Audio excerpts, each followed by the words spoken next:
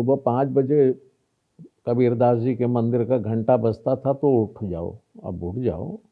हो गया, सवेरा हो गया है, प्रातः हो गया है। तो उठ जाते थे।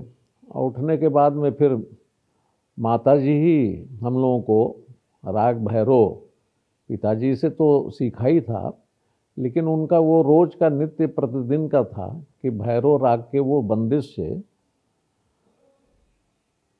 मोहन जागो भो। रभैलवा मोहन जागो भो। रभैलवा अब काहे नैना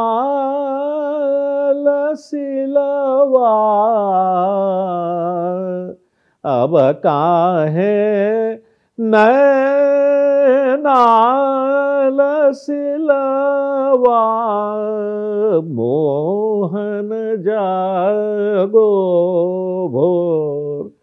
अब काहे नैना अल सिलवा, अब मत अलसाओ, अब उठ जाओ। सुबह पाँच बजे कबीरदास जी के मंदिर का घंटा बजता था तो उठ जाओ, अब उठ जाओ। हो गया, सवेरा हो गया है, प्रातः हो गया है। तो उठ जाते थे और उठने के बाद में फिर माता जी ही हम लोगों को राग भैरव पिताजी से तो सीखा ही था, लेकिन उनका वो रोज का नित्य प्रतिदिन का था कि भैरव राग के वो बंदिश से, मोहन जागो भो।